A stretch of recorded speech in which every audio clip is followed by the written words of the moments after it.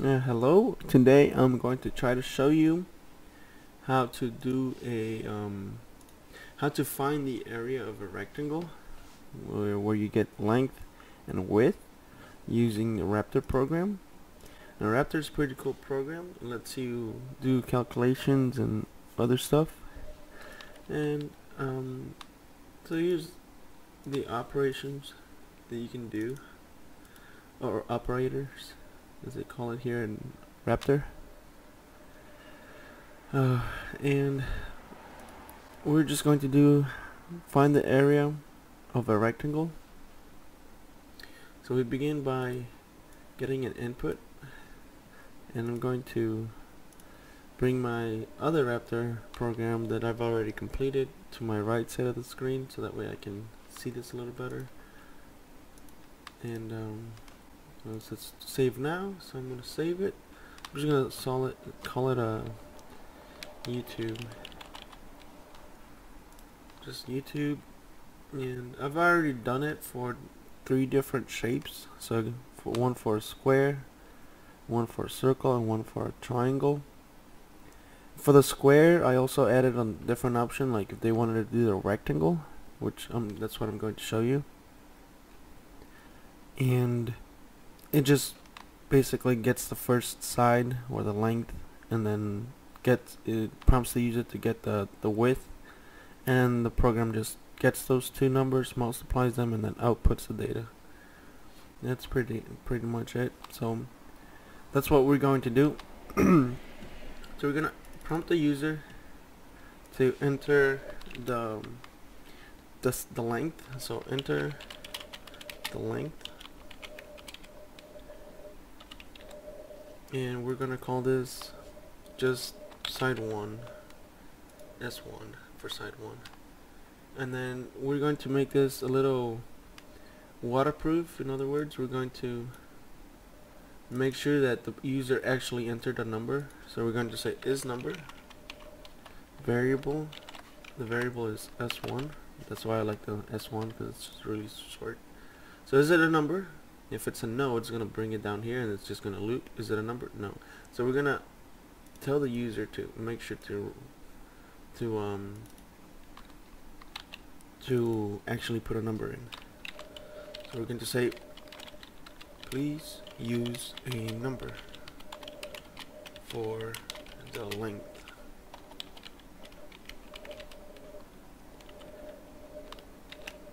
Or we can actually um, put a little exclamation point. And so this is going to be s1 again for the variable. Done. So let's just test this real quick. Enter the length. And we're going to say blah, blah, blah, nothing right? Is that a number? No. And then it says right here please use a number for the length. Exclamation point. So we'll just say 3 right? Is it a number? Yes. And the uh, program finishes because we haven't really programmed anything. So that's cool.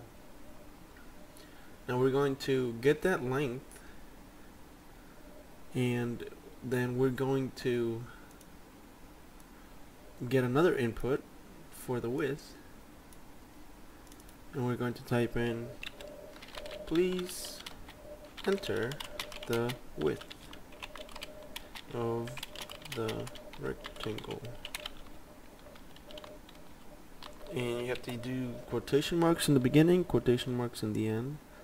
And we're going to do S2 for side 2 and we're going to do the same thing a little loop to make sure that the user actually entered a number. So we're going to say is number and sorry highlighted for us here. And it'll be S2 so is number S2 so it, it's asking if it's actually a number. If it's not a number it's going to loop again and again and again so if somebody writes one, then like the number one and then puts a letter, it's gonna say no. It's because it's not a number. It has characters like the alphabet, and it's just gonna repeat it. So we're gonna get another input. We'll just tap it in there and double click it, quotation marks, and say, please, oops, please use numbers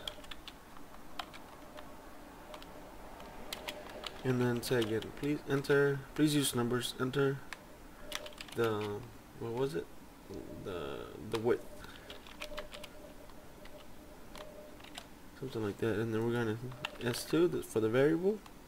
So if it's it enough if so if the users let's just test it here. We, we can watch it. So enter the length. And length is 5 please enter the width of the rectangle. And we're gonna say nothing right? Just to try to test it. No see there's no. And it just doesn't it doesn't doesn't want to let us through unless there's an actual number. If we type the letter like one as in one O N E it still doesn't do that. So we're just gonna type in uh, five. So that's our program is almost complete see now we actually have to assign S1 and S2 so the way we do this is just double tap the the statement the assignment. We're going to say that, that this is the area. And we're going to get S1 times S2 that's pretty simple. Area equals like S1 times S2 something like that. You get it and now we're going to do an output. And this is very simple. So we're going to say something like the the length we can like always um, use these numbers again like the variables s1 and s2 so we can use those numbers in our out output as well. So like the length is in quotation marks plus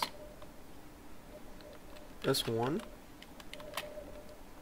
the length or we can say the length of the length of blank so it could be the length of 5 and and another plus sign quotation marks and and quotation marks plus um, plus s2 and then plus quotation marks start. So it's the length of 5 like, can say the length of 5 and we can actually write down here and the width of blank number 2 side 2 is and then we can finish that off is plus and we're going to do the area the other variable. So s1 times s2 equals the area. So we're going to say plus area. And um, if I did it right it should let me finish. There we go. So we, we can go ahead and test it. Let's just enter letters. Is it a number? No. Comes back around and says please use numbers or no please use a number for the length so we'll go write 34 and please enter the width of the rectangle. We'll say mm, just letters again and test it. And it doesn't work. Please use numbers. Enter the width. So we're gonna do 23 and then is it a number? Yes. So it goes on forward. And this is the output that we were writing down here. So the length of 34 and the width of 23 is 782 so 34 and 23 if you want to really test it you can always go to the uh, to Google or something or use your own calculator. 34 and 23 34 and 23 is 782 we go back to our little program here. And uh, let me get the window again. 782 is that what I got? 782 yes. I mean it's just pretty cool program. And, and this has been the tutorial how to do width and length with the Raptor. Thanks for watching